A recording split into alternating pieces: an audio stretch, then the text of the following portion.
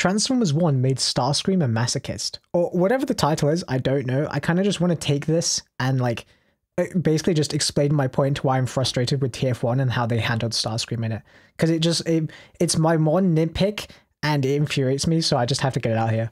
What were they doing with Starscream? Okay, like, so for like, obviously, I, I guess spoilers at this point if it need be said, but like Starscream, so obviously his introduction comes for Win obviously they wrap up with Alpha Trion. They get boom, they get tased or whatever, knocked out. Then they get brought to the layer of High Guard. Let's go. They, they were super cool in the movie, by the way, which I, I will go into depth on.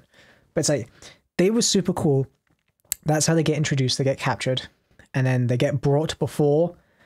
I guess well, Starscream, obviously, Soundwave, and Shockwave, which look all super cool. By the way, their introduction was uh, nice, very nice. But like Starscream, obviously he's leading the High Guard, right?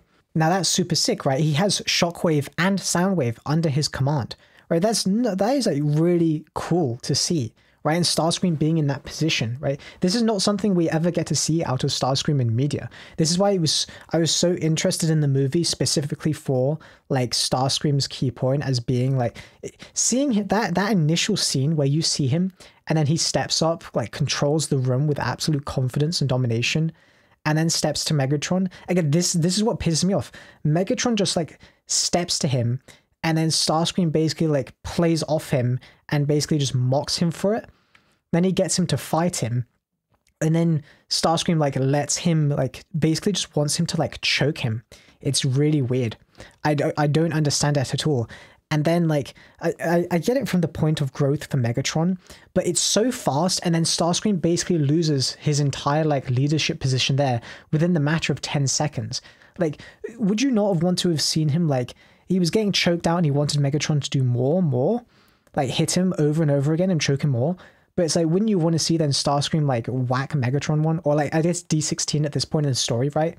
Just whack him one and show him his true place and then truly flesh out like Starscream's leadership capabilities. Because remember, he's the leader of the High Guard. D16 has only just gotten his T-cog from being a miner this entire time. I know Megatron's meant to be like how he progresses his character, but at this point in the story, it's like he only just got it and he was only just turning like his character arc was just turning to that point, right?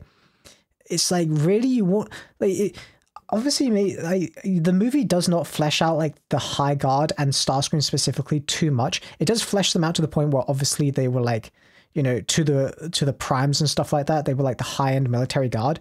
Right that, that's why they're called the high guard right? Like super high end combat stuff like that and obviously b does some exposition. But it's like like d16 just casually whips starscream who's like been leading them and has been like why it seemed way too fast to me man. Like you can call it nitpicky all you want? And may, maybe it's because i'm like biased. Like i wanted to see starscream i want to see that high guard truly fleshed out. You can say and look i'm not complaining. It's probably budget right? Budget was probably the constraint. It's the same reason we never got to see like d16 in like the pits and the fight pits and stuff like that. They said that was budget so maybe this is the same reason but nonetheless it still pisses me off. So that's my reasoning and I don't care. It it annoys me that Starscream basically got like shafted and basically like fucked over. Let's let's be real. His character basically got fucked over because now we will never get to see that from him again. We'll never get to see him in that position of power and confidence. He's now going to be relegated to just simping to Megatron or like trying to be like his traitorous rat self right that we see from like every piece of media ever so so the one interesting key point we could have got from his like because because you him being in that like dominant position that gives like credence and like underlying reasoning to why he has that like ego and why he wants to run the Decepticons and stuff like that for his future character and in, in, in this continuity, right?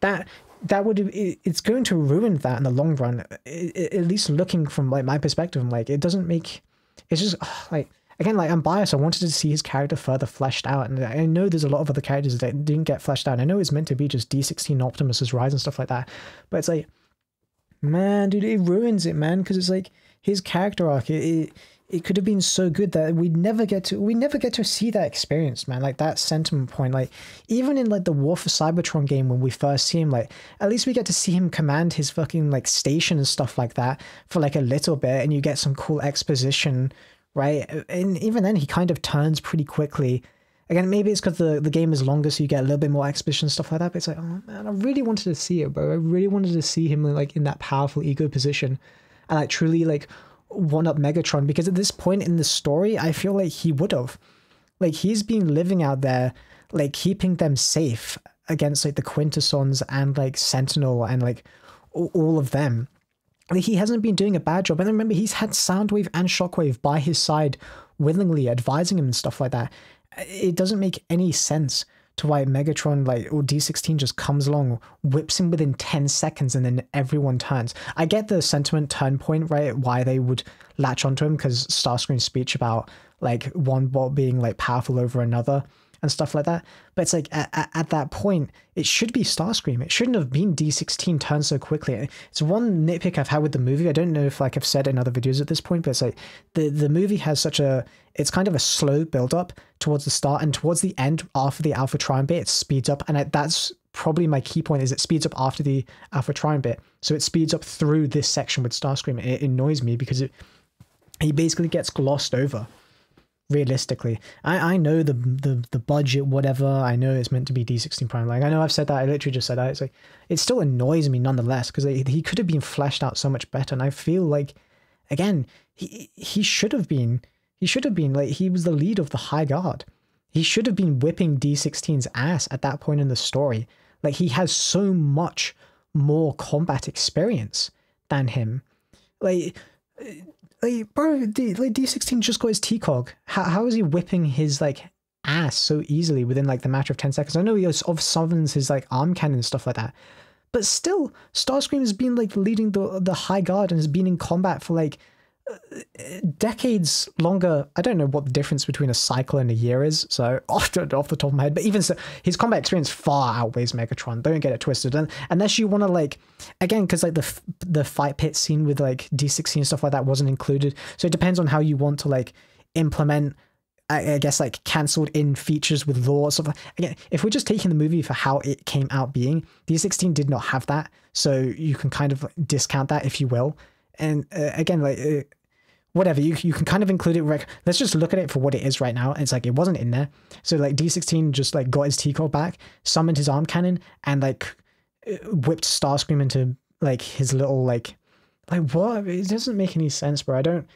It, okay, I it does make sense from the storyline perspective of like D16 and stuff like that, but I I'm just annoyed the fact that Starscream got shafted, and that's kind of the entire video. I'm just pissed that Starscream got fucked over, basically. You can say I'm whining all you want, I don't care.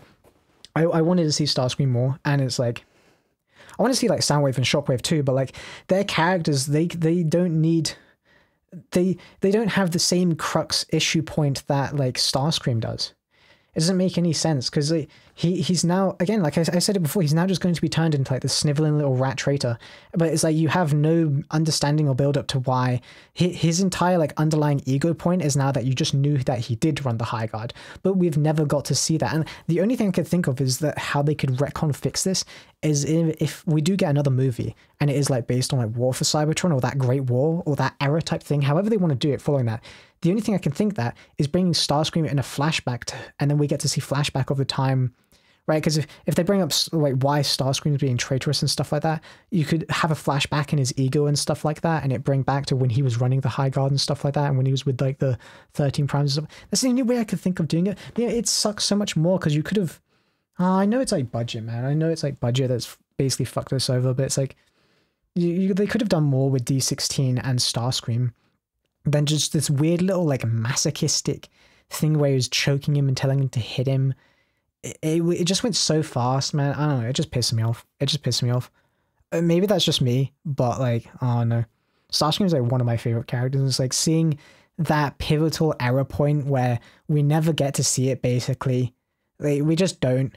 It's just annoying. Like outside of like the comics and stuff like that, where we get to see his personality well and truly explored, we never get to see it in media. And he is like a mainstay character. I think it pisses me off more because like Bumblebee on the Autobot side gets like I, I know like Bumblebee is the Pikachu of the TF like world, but it's like he gets to explored, but then Starscream, which is the equivalent on the Decepticon side, you can argue that all you want, but it's like for me, it's like Starscream on the Decepticon side is like the equivalent of Bumblebee on the Autobot side. He never gets explored.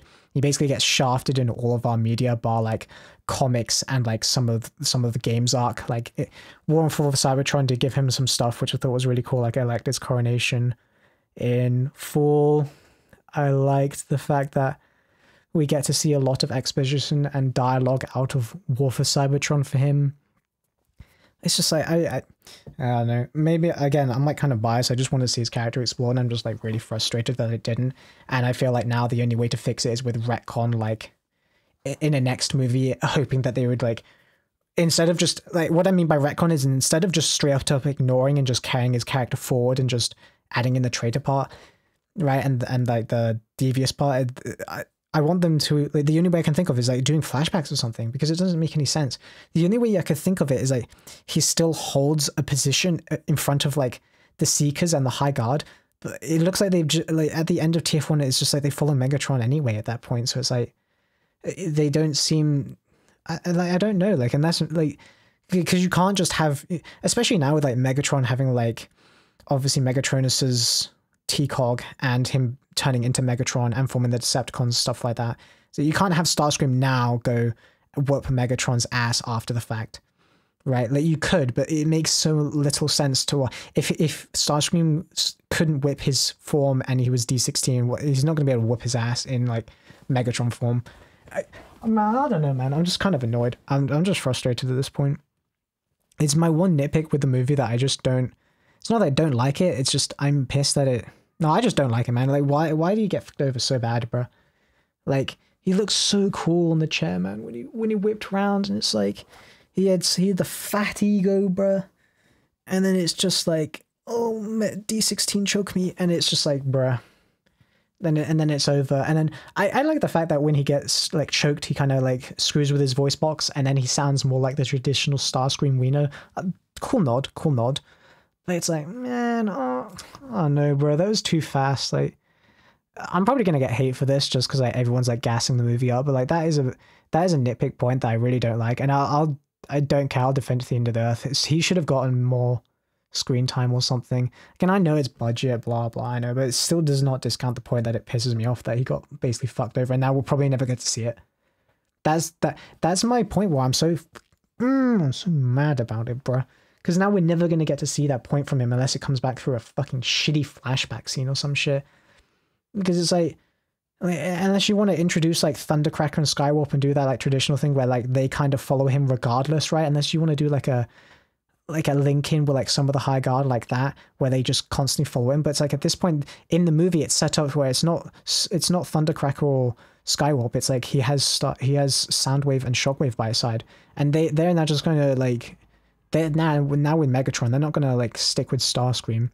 See, that's that's the only other line I could think of is that they they flesh out the the Seeker portion of the High Guard with like uh, uh, with like him, Starscream, Thundercracker, and Skywarp, and how they follow him regardless of Megatron and stuff like that. That's the only thing I can think of, but it's like it's still it's it's not the same as Starscream controlling the entirety of the High Guard, bro. Oh no! Oh no! It annoys me thinking about it. I mean, maybe that's just me. You guys let me know in the comments below, I guess.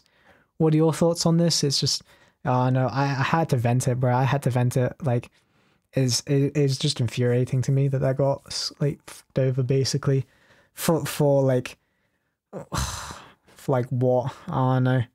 I know a lot of other characters basically got duped in. Like I know like Blur didn't win the race, but it was Chromia, like the uh, Iacon Speed five thousand like speak up that's also criminal. That's like another video in its like entirety. That was that was criminal. Like I'm all good for like Chromia and stuff like that. Like bro, Blur not winning it. Didn't Blur place like 300 something or something? That's foul, bro. That is actually criminal. But yeah, I mean, that's me. Peace.